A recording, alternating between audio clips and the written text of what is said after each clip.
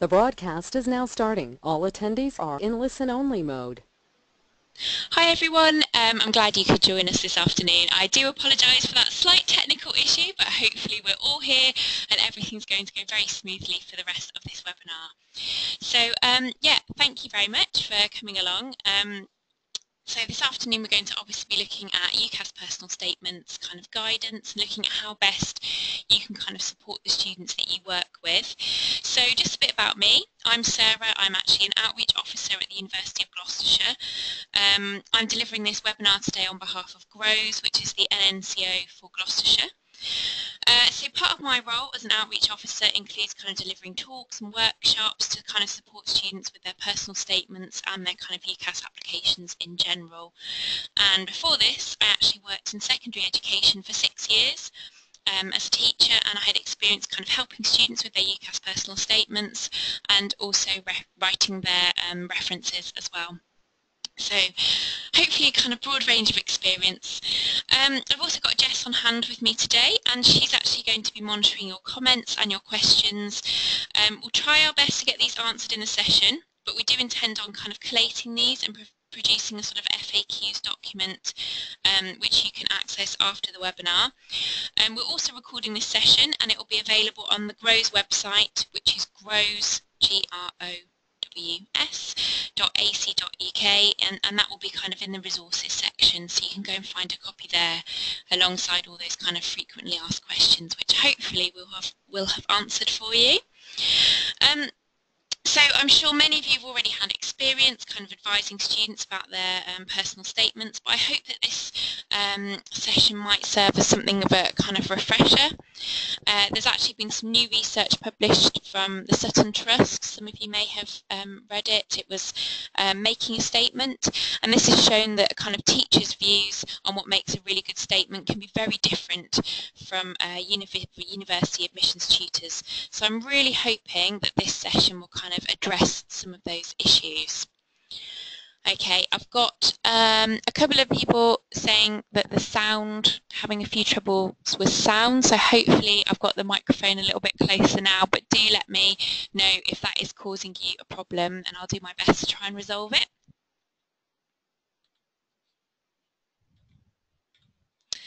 Okay, so before we start, just to go over a kind of a couple of technical things for those of you who maybe haven't used the kind of GoToWebinar um, service before.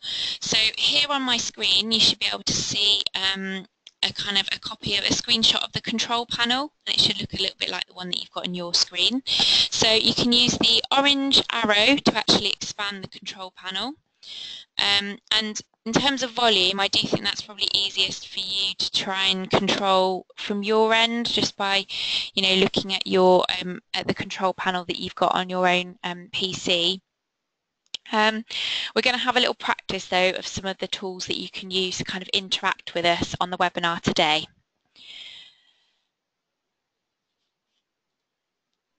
Okay, so first of all, we're going to do a little practice um, and we're going to practice with the kind of hand raising tool which you can see. It's got a little picture of a hand. So first of all to have a practice with this I would like you to raise your hand if you actually remember writing your own personal statements. If you've had to write your own personal statement if, if you applying for university if you could raise your hand now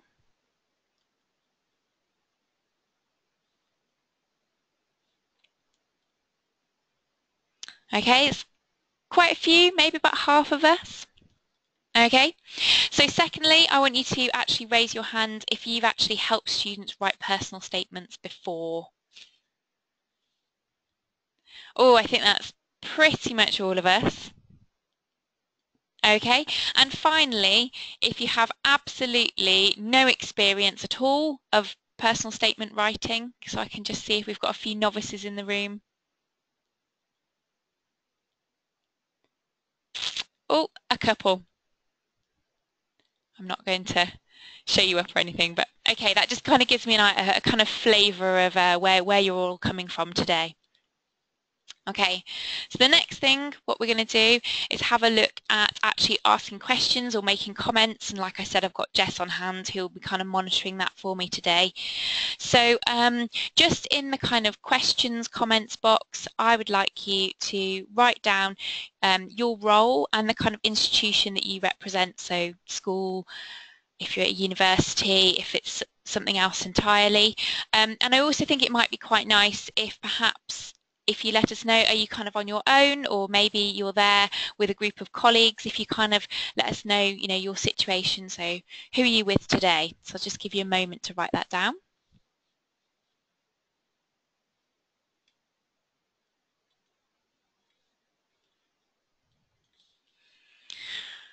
Okay, so Kelly, support officer, we've got head of careers, careers advisors, outreach assistants, Okay, we've got a few tutors. All right, it's quite varied. Um, student guidance, that sort of thing okay, this is really good. And, you know, obviously, I'm sure lots of you have things that would be good. So if you maybe have any kind of tips or things that you'd like to share with the other people who are also in attendance with the webinar today, then please go ahead and do so because it'd be really good. And we can obviously add all of those little comments to those FAQs at the end of the session as well. Okay, please let me know if I'm moving through things too quickly. So let's get kind of stuck into what we're going to be looking at today. So first of all, um, I think it's really important to stress to students exactly how important the personal statement is for them. So, you know, it's the only part where they really have kind of full control over that part of the application. If you think that the predicted grades and the references are kind of decided or written by tutors, you know, such as yourselves. Um, and also that, that an awful lot of courses don't actually interview.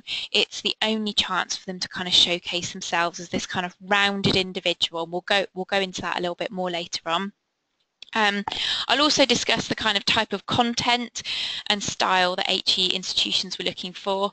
Um, you know, obviously I'm not saying this from the point of view kind of a guru of everything, but this is the sort of thing from talking to my colleagues and people from kind of other institutions. These are the sorts of messages that are kind of coming out of what we say we'd look for in a really strong personal statement. And of course, we'll also um, go over some kind of top tips um, to ensure that your students don't fall, in, fall for the kind of common pitfalls of personal statement writing, which are all too easy, I think, to fall into sometimes. Okay, so I'm sure that most of you, um, you've all kind of helped write personal statements before, nearly all of you. But most of you will be already familiar with the UCAS form already, but kind of just a reminder that the, the, these are the kind of main sections. So you've got the personal details and you know, other things that I would say to kind of remind your students about um, that they should always use a sensible email um, email address, you know, not that one that perhaps they made up when they were about 12 years old, which is quite funny at the time, but maybe not something they'd want to share with um, universities. Um, and also to make sure it's accessible, so i.e. you know, not a school or college email address that they might not have access to beyond the summer. So Google, Hotmail, something like that would work best. Obviously, they can apply up to five courses. They don't necessarily have to be at five different institutions. Just to remind them, of course, you know, £12 for one or £23 if they're applying for more than one. Um, for those of you perhaps aren't sure, so most students will complete their application by the 15th of January. Of course, that's earlier for, for Oxbridge, uh, medicine, veterinary sciences, things like that. Um, but I'd always stress to them, of course, that you know their school or college deadline is going to be much earlier than 15th of January to kind of allow for proofreading and for their tutor to write their reference and so on. And I would always, always encourage them to kind of get that to whoever's writing their reference nice and early so it's not, you know, two days before the Christmas holiday. Um, you want to make sure that they're putting their reference writer in a nice good mood when they're going to write that to kind of give them the best possible position that they can. Um, in terms of qualifications, that's everything that goes down that's kind of GCSE and beyond. Um, I would really recommend getting your students to look on the UCAS website. There is a really comprehensive list of all sorts of other kind of weird and wonderful qualifications um, which can actually get them UCAS points as well. So I think kind of things like grade six and above, um, music, um, practical and theory. Um, I think there are some sort of dance and drama qualifications, key skills, all sorts of things. So I'd really get them to look on there to kind of see if they can maybe grab a couple of extra points, which could be the difference between getting in perhaps or just narrowly missing out on that place. Um, I will go over a little bit later in the presentation, obviously with the kind of move to linear qualifications for lots of students, that will mean that ine inevitably there'll be kind of even more emphasis on having a really strong personal statement. So it's not just those um, qualifications which carry the weight. And also, of course, as the reference, which I think an awful lot of you will be having an input in. So potentially these kind of carry more weight for admissions tutors than the personal statements. There has been research to suggest, you know, that they would put more weight on a reference. Possibly you know it's a little bit more impartial. You're looking more at the kind of academic side of things. Though of course I wouldn't tell students that because you want them to feel that their personal statement needs to be really really strong. Um, and again you know this personal statement is the chance for universities to kind of meet the student as it were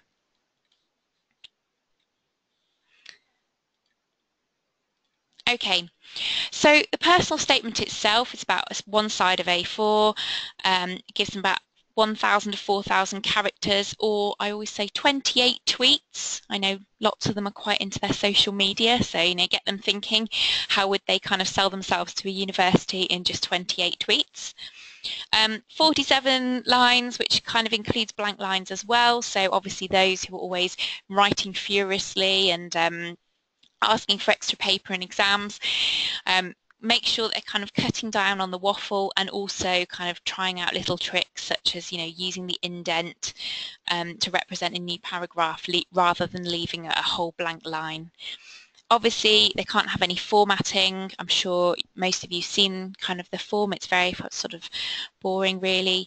Um, so no bold, italics, underlining, anything like that to make things stand out. So I always say, you know, get your students kind of dust off those GCSE English skills if they haven't used them for a while and think about how they can structure paragraphs, sentences effectively to kind of highlight the, the, the kind of the most positive or the most important attributes that they might have in their personal statement.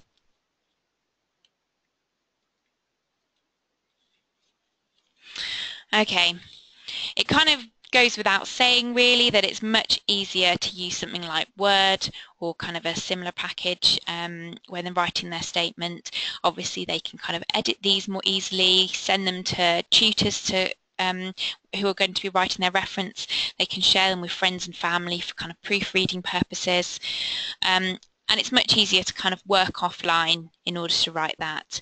Um, I would suggest that they check the character and line count really carefully because if when copying and pasting from Word into UCAS apply, um, just to double check that the kind of nothing's gone wrong, that they you know they maybe missed a couple of characters anything like that.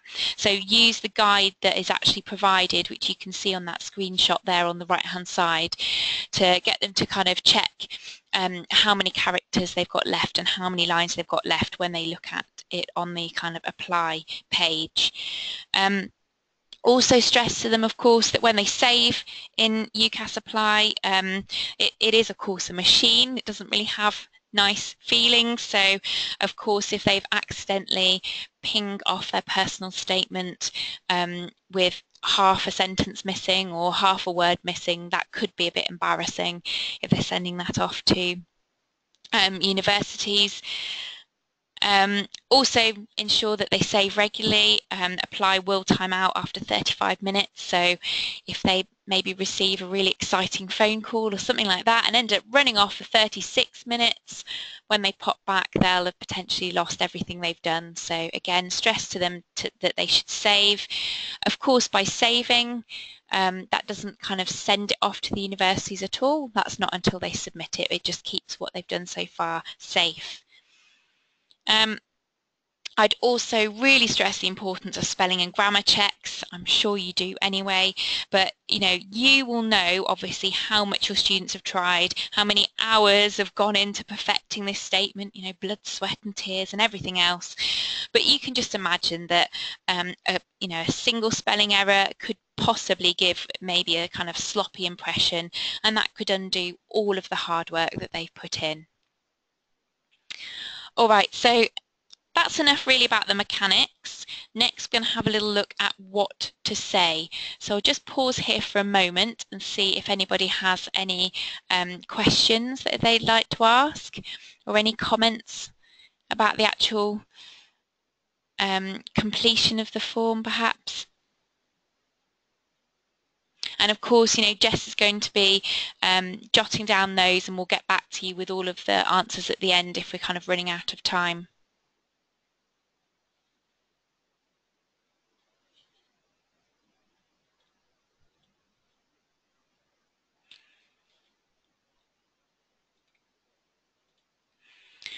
Okay, so when actually looking at kind of what to say in the personal statement. Um, two-thirds of it should relate to the course that the student's actually applying for. So, you know, whilst they might be a champion paraglider or kind of YouTube sensation, unless they actually relate these facts to the course, they're simply wasting valuable space. Um, there's no need for your students to provide a kind of a long biography of where they've lived, worked, studied, because of course institutions will have access to the whole application form and that include that includes a kind of place of study and qualifications. Um, likewise, I know some schools like to put in the reference kind of a long um, biography or a little kind of background information about the type of school that they've attended.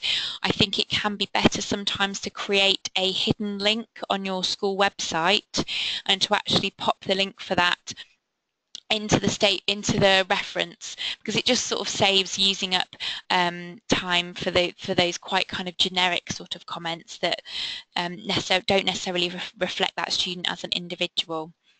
So um, they should really focus on their interests, their experience and their kind of skills that they developed in their level two and level three courses and, and you know what they're hoping beyond, you know, and what they're doing outside of that. I always think that students should focus on what is their unique selling point, you know, what makes them different from everyone else who's applying for that course. So I always say, if your whole class removed their name from their statement and handed them in to you, would you, as your tutor, would you be able to give back the correct the statement, the correct statement to the correct person? You know, you should be able to kind of say to them, oh, you know, you're the one who volunteers with your little brother's football team every Sunday, or, you know, you're the one who visited Spain on an art and design research trip at Easter, or you're the one who read the complete works of Shakespeare last summer. You know, what is it that they, they're doing that's kind of different or a little bit more or a little bit extra that is kind of unique to them and it's not the same as everybody else in their class or in their year group. Um, when it comes to kind of extenuating circumstances, so that could be something like, you know, personal illness or maybe um, family trauma, I think it's best to have a conversation with the student about this. So I think it's sometimes better for these details to kind of come in the personal statement rather than in the reference. Um, but again, I'd kind of get them to focus on the positives, so how they kind of overcame a really difficult situation rather than kind of providing it as sort of excuse or sob story. You know, otherwise it can kind of become a little bit like X Factor, can't it? And get you get the feeling that maybe they're kind of going for the sympathy vote rather than getting through kind of on their own merit. So with that in mind, there are um, two really important questions that applicants must answer in their statement. So we're going to look at these next. I think these are the two kind of key burning questions that they should kind of write down at the centre of their paper when they're doing their planning. So the first one, why are you applying for the course? Okay, that might sound kind of obvious, but your students will obviously have kind of chosen an area of study, but what was it that actually sparked their interest in this? Okay, so, you know, if they're kind of applying for economics, for example, was it their GCSE maths teacher who then kind of inspired them con to consider economics at A level and that hence you know why they then want to continue that on perhaps at degree level as well. Was it um, testing out perhaps a-level French on a family holiday that made them want to kind of develop their love of languages and apply for, for that again at degree level? Um, perhaps it was something like you know caring for an elderly relative that actually prompted them to choose um, perhaps a level three health and social care type of course and that they want to kind of continue this further. So drawing on personal experiences should be the kind of justification for the course choice. I think that's really essential. Um, you know, is it work experience? Is it a personal project that perhaps they worked on? One of you actually mentioned the EPQ, so perhaps, you know, did they choose something for EPQ that's kind of sparked their interest for this subject area and they want to kind of develop it further? Um, Perhaps it's their hobby, perhaps it's a voluntary work that they've done. Um, have they been on a summer school? I know some of you, you know, from different universities, perhaps like um, we offer um, a residential um, summer school event for year for year 10s and year 12s to come on and they get to kind of have subject tasters and things at, at those events. So perhaps it was something like that that inspired one of your students. Um, is it extra reading that they've done? Have they kind of watched any interesting um, videos things like TED Talks perhaps they've watched online which have kind of sparked their interest in this in this um, area of study However, it's no use kind of just demonstrating enthusiasm. They need to really provide evidence that they understand kind of what the course is going to be about and kind of what's required. So, um, you know, it, it would be a really bad example to say that, oh, watching CS, CSI is their kind of reason for wanting to study forensics. And I think likewise stating that um, that you enjoy working with children would be a really bad reason for applying for midwifery and you're probably going to spend more of your time working obviously with a kind of the mother than you would be with the actual child. Um, I would get students to read course descriptions and prospectuses and on websites really, really carefully. Um, get them to focus on, on specific parts of the course, perhaps refer to particular modules um, that are that they know that they'll be covering or particular topics or experiences that they know that they'll be able to gain on the course, um, which is perhaps telling them, you know, why they wanted to, to apply for it. I will go over more of that later, but um, as you will probably know they only get one personal statement for all of the courses that they're applying to. So we'll kind of go over how not to alienate institutions um, by mentioning things that aren't relevant to them. Um, and also, I think future plans. So I think it's really important that they perhaps show they've got some sense of where they might be going. What are their plans after graduation? So Perhaps the students are applying because they have a particular career in mind, you know, such as teaching or obviously veterinary work, and they know that they need a degree level qualification in order to achieve that or to get to that. Um, even if they're kind of unsure, I think it's good to mention future plans. It tells universities that students have really thought about their future and they aren't just applying because it's the kind of the next step on the ladder, all their friends are doing it, they're, they're too scared to move into the world of work. Um, I can tell you now, universities are certainly not going to hunt down students and take away their degrees because they didn't follow the career path that was kind of outlined in their personal statement. But having some sense of thinking about their future and where they think their degree will take them always looks positive. Okay, you're probably wondering, right, what is this second really important burning question? So why are you suitable? All right, so all about suitability. Students may seem really super enthusiastic, but they also need to provide some sort of guarantee that they'll be successful. Um, so obviously, you know, if they're investing in the institution, but the institution is also investing in them too. So, you know, they want to prove that they're perhaps not going to kind of drop out of the course or they're going to find that they're ill-suited for the course in some way when they're kind of part way through. So I always think get them thinking about what makes them university ready. Um, so universities will already have access to their overall predicted grades, but perhaps there's a particular module or a piece of coursework, maybe a presentation where they've really excelled. So you know, could they kind of describe what that was and explain why? Why did they do really well in it and why do they think that that will help them on their future course? Um, perhaps it's that they've really honed something like um, a particular skill, maybe they're referencing skills in their psychology work, or maybe they've developed really good customer relations on one of their travel and tourism placements. So, you know, get them to focus on what they've done. Um, I sort of mentioned earlier the idea of kind of looking for rounded individuals. So I think employers are keener than ever to employ graduates who are these kind of rounded individuals, not just a qualification on a piece of paper. So they need to show that there's more to them than that. And I think, you know, even even if you were lucky enough to receive an A star in history, that might simply reveal that this is a student who's really good at passing exams. It doesn't necessarily show that they really enjoy studying the subject. Um, so students should kind of explain what they've done above and beyond the course expectations. Um, you know, are they the sort of person where they're set one chapter, but then they kind of go and read two or three chapters of the book, or perhaps even the, the kind of book in its entirety. Um, have they perhaps undertaken voluntary work in the field? Have they taken on an extra project, you know, such as the EPQ, which I mentioned? Have they et entered any kind of academic competitions? Have they set up a blog? I know loads of students at the moment, you know, they're really into their kind of social media. Um, are they kind of active participants on forums? Do they create their own kind of um, YouTube channel, you know, all those sorts of things. Um, have they watched documentaries, you know, on the subject? What have they done that kind of shows that they have done that little bit extra and they have that kind of you know, deep understanding and kind of willing to go further in order to progress on their course. And all that shows is their kind of commitment to the course, their commitment to the subject, and it tells universities that they'll be willing and eager to learn independently. Okay. Extracurricular activities. So obviously students are kind of really into doing a little bit more in their free time.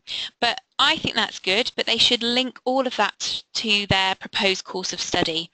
So, you know, get students to think, why does this experience, interest or activity that I do in my free time make me a good candidate for this university course? So you know, a part-time job in a cafe might not seem relevant to their degree course, but actually it could show kind of teamwork, it could maybe show trustworthiness when they're kind of working on the till. If they're quite sporty, it might be that all those kind of early morning training sessions for kind of swimming competitions actually helps to show kind of dedication, it shows really good time management. So it's all about linking the experience to kind of these soft skills that would make them good potential university learners. Um, if students are perhaps planning to move away from home, perhaps they also might want to kind of indicate their competence for independent living as well, show evidence that they're um, capable and excited about kind of working out of their comfort zone or maybe meeting and working with um, completely new people. Really importantly though, make sure that students can back up everything. Okay, they could be quizzed on this if they're called for interview. Um, even during clearing, of course, you know, the, the same personal statement would have to be used if they go through into clearing. And some institutions will actually carry out kind of mini telephone interviews with students during the clearing period. And they will, of course, use the personal statement as a kind of basis for those questions. So making sure that everything they said is true, but also that they kind of back up any skills or experiences that they say that they have, they can kind of back those up with evidence. Okay, so if anyone has any questions or comments again about the content, then please, you know, jot those down, put those in the chat box, um, and then Jess and I will kind of get back to you on, on any of that.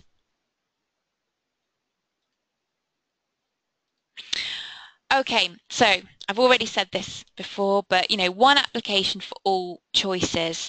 So it's really important that students avoid kind of alienating any institutions. Either, you know, the most glaringly obvious thing would be referencing them by name or location um, or naming kind of any institution specific details. So for example, explaining how much they want to live by the sea when they're applying to a Birmingham university would be a big no-no.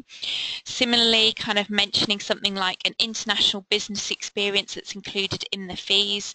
So I know at the University of Gloucestershire there's kind of paid um, business experience, but if that's not something that's included at the other institutions they're applying for, of course, they shouldn't mention those sorts of things. Um, remember that, of course, they can't change their personal statement later on if they change their mind. And again, this would also be used for clearing.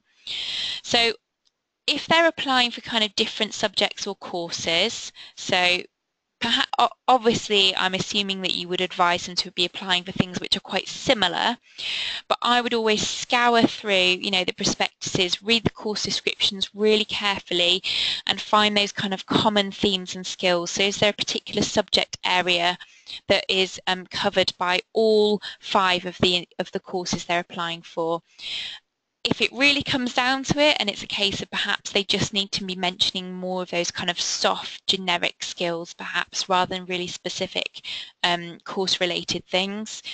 And of course, if they're applying for a joint degree, so business and French or sports education and coaching, they should of course um, mention both aspects of the degree and talk about why they're interested in both and perhaps why they think they make a kind of a good combination for them as well. Okay, you'll be pleased. There's a little bit of uh, audience participation then on the next slide. So think about who reads it. So most of you have experience helping students write them, but who do we think actually reads um, these personal statements? So we're going to do a little show of hands. So first of all, I want you to kind of raise your hand if you think that um, uh, personal statements are actually read by the admissions teams. Let's have a little look. Oh, okay, maybe about a third of you. Okay, put your hands down then. So what about course leaders? So people you know, who are kind of in charge of the course. Okay, quite a few of you. What about any other kind of lecturers, professors, you know, maybe the whole team who kind of work on that course?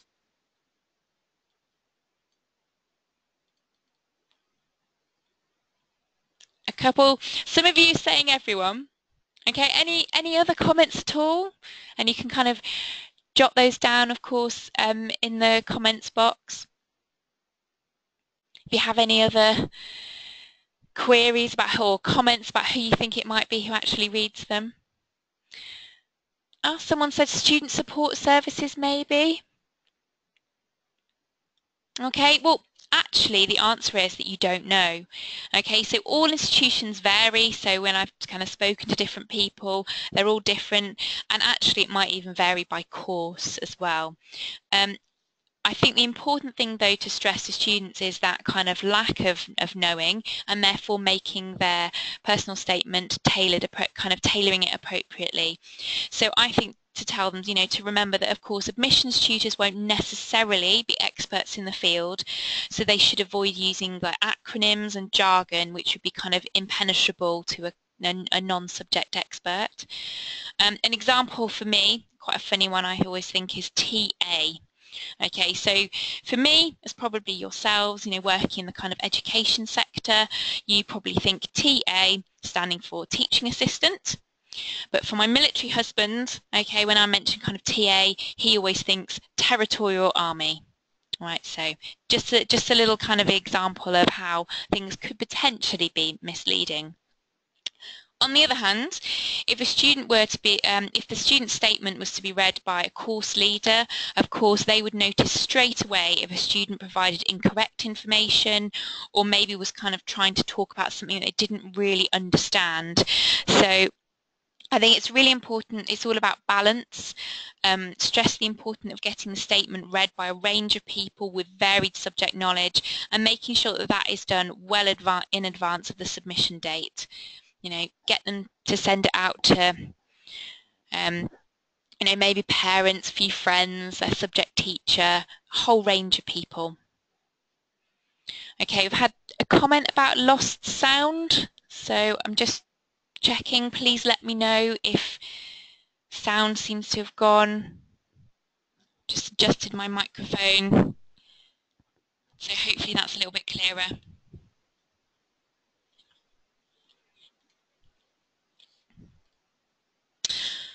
Okay, statements. So um, you, I will show you later UCAS have actually published some of their kind of most overused words and sentences and things and I, will kind of let you have a little peek at those if you haven't seen them already. One word I would say definitely to avoid is passion or passionate. Okay, definitely kind of, you know, with that evidence side of things, make sure that your students are kind of showing how they're passionate rather than simply kind of stating it. So it's these kind of uh, empty state statements which are kind of haven't been evidence-based. These are the sorts of things that your students need to avoid. So, for example, I've loved sport all my life. Really? You know, did, did you arrive into this world doing keepy uppies? Was your first word Beckham? Okay, I'm being a little bit tongue-in-cheek here, but was there actually a moment perhaps when that student maybe was about four years old, when their uncle perhaps took them to their first ever football match? Was it the atmosphere that kind of sparked their love of sport? Was it competing in a particular competition um, that made them think, actually, you know, I really enjoy sport. Perhaps I want to go on and coach others in that in that field. Okay, so try and link it rather than this kind of generic statements of loving things all their lives or always been interested in, try and maybe pinpoint it to a particular moment. Um, second one, I feel global warming is a really important issue. Again, I'm sure everyone in the 21st century would probably agree with this to some extent. But again, I'd actually want to explain which aspects uh, um, are important and why, and how would that link to, you know, that physics degree perhaps that the student was um, um, applying for. Um, number three, again, you know, say something original or say something personal. How does that actually relate to them personally? And number four, you need teamwork and communication skills and I've got them. Okay, again, you know, without evidence, this statement lacks kind of any substance and I think it's actually borderline arrogant. So, you know, explain how they've got those communication skills, where they found that teamwork and why that they think that that is really key to the course they're applying for.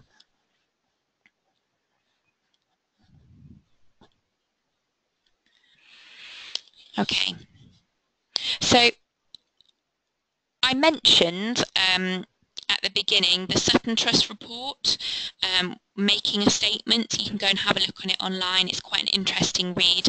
What I've done is I've just pulled off a couple of bits from that report to have a little look at. So what I want you to do is have a little think. All right, if you haven't read the report already, of course. So would this statement here actually increase the chances of an applicant gaining a place on their chosen course, or do you think it would decrease their chances? Okay, could you write your answers um, in the box now? So do you think it would increase the chances or decrease? And perhaps if you want to, maybe also write why. Why would you think that?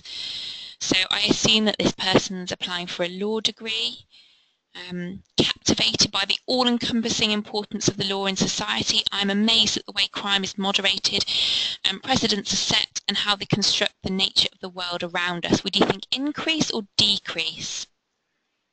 And Jackie, yes, we will um, give you the link to the Sutton Trust um, document as well. well. I'll pop that into kind of the FAQs.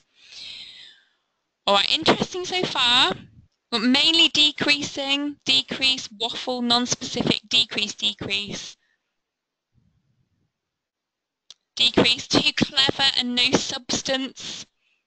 Caroline decrease in capital letters. um, look, so again, too generic, looking for something more specific. Okay, uh, Chris is questioning amazed. Yeah, again. Okay, so the actual results, all right, so in that Sutton Trust report, a teacher believed that this statement would increase the likelihood the applicant would be offered a place by showing, and I'll quote, clear enthusiasm. But the admissions tutor said, and again I'll quote the admissions tutor, and you all seem to be very much in agreement with, with them, this is an empty opening statement with no examples cited to back it up. The weak attempt to define law wastes space and provides no useful details about the applicant. All right, and again, it picks up all the sorts of things that I said earlier about make it personal, okay, provide evidence. Okay, yeah, I completely agree with you. Way too much waffle. It's just, you know, putting in things to sound a bit clever or to sound a bit enthusiastic, but it doesn't really tell the institution anything. So I'm going to have a look at a second example. Again, I think this is somebody uh, applying for medicine. So what about this example? Um, while shadowing in GI surgery, I observed necrotic pancreatitis patient in severe septic shock. You can tell that I am not of a medical background at all, can't you? But, you know, again, reading that example, do you think that it would increase or decrease the chances of this candidate getting onto the course of their choice?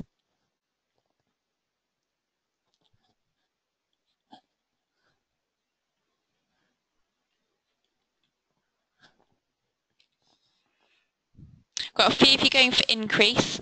Increase. I don't know if this is just because you're thinking I'm probably going to put in a bit of a mixture. Increase. Oh, couple of decrease. Uh, Kathleen says increase since it uses a real life example. Yeah, and that is what I've been kind of going on about recently, isn't it? Um, Okay, so the teacher actually thought there was too much medical information, it was long and impersonal, and I have to say this was actually only a portion of the sample that's provided in the full report. It was actually about three times the length, um, the quote that, that, that the Sutton Trust printed.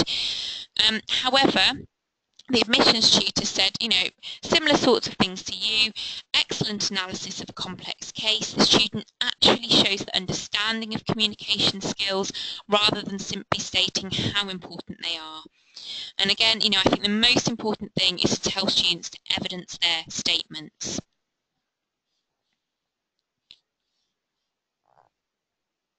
Okay, and I said, didn't I, that I was going to share some of those um, sentences from UCAS that they published recently. So, you know, it's all about trying to get them to be original. So UCAS have shared their most popular personal statement openers. These are just the top five that were actually used in the 2015 cycle. And you can see how many times they were used by the brackets on the right-hand side.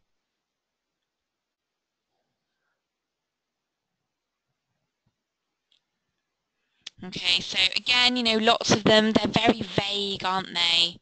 You know, very, very vague about from a young age for as long as I can remember. You know, try and get them to pinpoint something specific.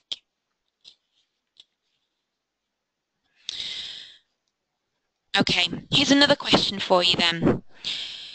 It's all about being original. So in one single year, how many students wrote this exact sentence word for word in their personal statement. Okay, write your answer in the box. So in one year, how many wrote exactly that sentence, word for word? Okay, 250, 958, 350, 1,000, 100, 142 would have found it on the website. Okay, huge range. Well, the answer is perhaps not as high as some of you have said, but 234 UCAS personal statements in one single year um, use that exact sentence. And again, it's just to stress that um, UCAS have the Copycatch software. It's used to check against past and present statements. So, you know, make sure, of course, that um, students aren't necessarily borrowing from kind of siblings or cousins or perhaps older friends who managed to get onto their kind of dream course. And of course, from those on kind of websites, books or anything else it might be really tempting for them to kind of borrow sections from the model that you provide in school or maybe go onto the student room and lift a few phrases from someone who kind of got onto their, their perfect course, but they really shouldn't plagiarise. So of course, you know, universities will be informed if they're caught um, and take appropriate action depending on the situation, kind of how severe that is. And I think, you know, they should stress that yes, they might still get onto their course if it's maybe just one sentence that they kind of had borrowed, but it's not a great way to start three years when they've already got a kind of mark against their name as someone who's kind of potentially um, plagiarised.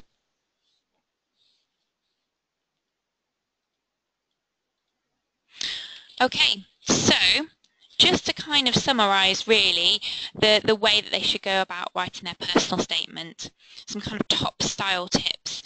Um, having a little look at that set that uh, list of words. I'm sure the more creative of you could probably make these into kind of a snazzy mnemonic for your students or something. Um, I don't know, perhaps put your ideas in the question box perhaps. But these are the things that I think are really important to, um, to tell them about. In terms of formality, there's no need to sound posh or impressive.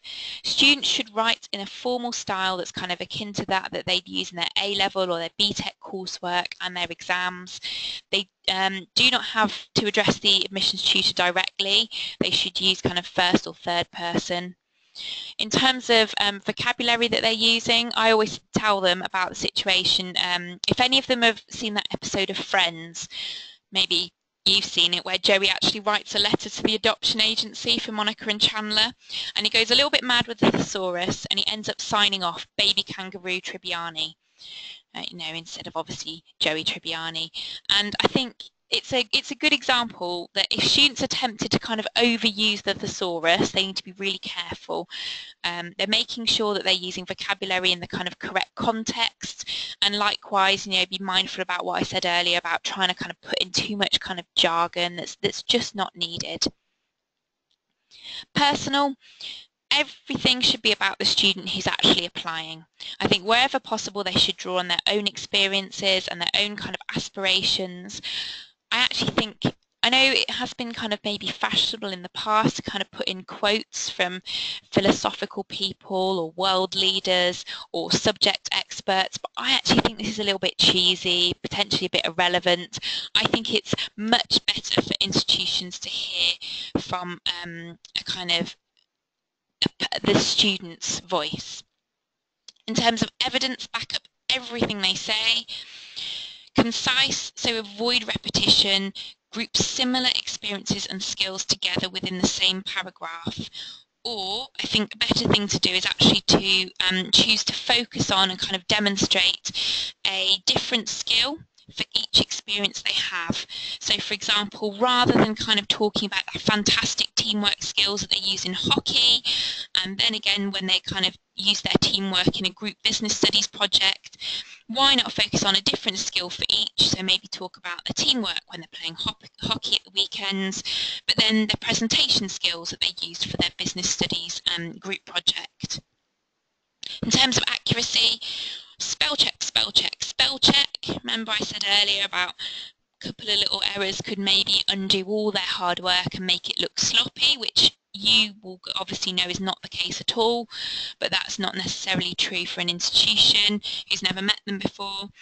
Um, in terms of spell checking, again, making sure that they're using an English rather than American software. And in terms of accuracy as well, making sure everything is true. Okay, no popping in any extra little lies or anything in there. And this is the big question to ask them.